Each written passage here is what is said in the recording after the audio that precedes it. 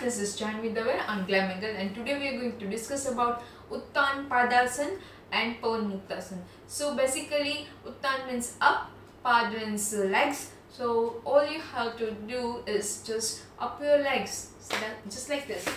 Show you. Lie down like this.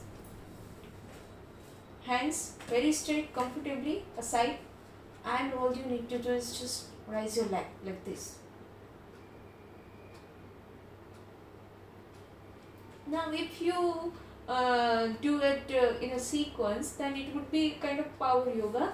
You just need to do this and this and this and this. And of course even uh, in fitness centers and gym the trainers uh, ask you to do this kind of uh, activity and it is al- already mentioned in uh, yoga. So this is Uttan Padasan basically and you can call it whatever you want like it is normal base, basic ab exercises.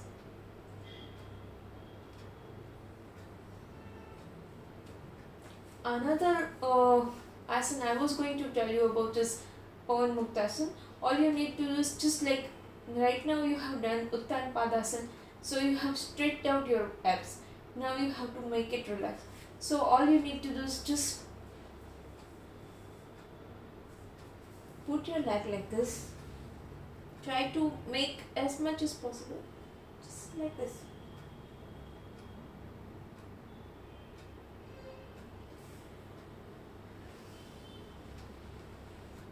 so this is how you do Pawan Muktasan. Uttan Padasan actually helps in uh, ba- basically it is best most recommended and you preferred for your ab workout. So this is how you do Uttan Padasan and Uttan Padasan uh, or else you can call it uh, ab exercise. Ab exercise helps in of course uh, losing the fat around abs and it will give you really best looking abs. So that is what is Uttan Padasan and it of course help helps uh, uh, all the internal organ around and near abs. So that is how it works and uh, this Pawan Muktasan is totally different. It helps in um, digestion process and it's really good and it, it is also kind of comfortable if uh, you do it regularly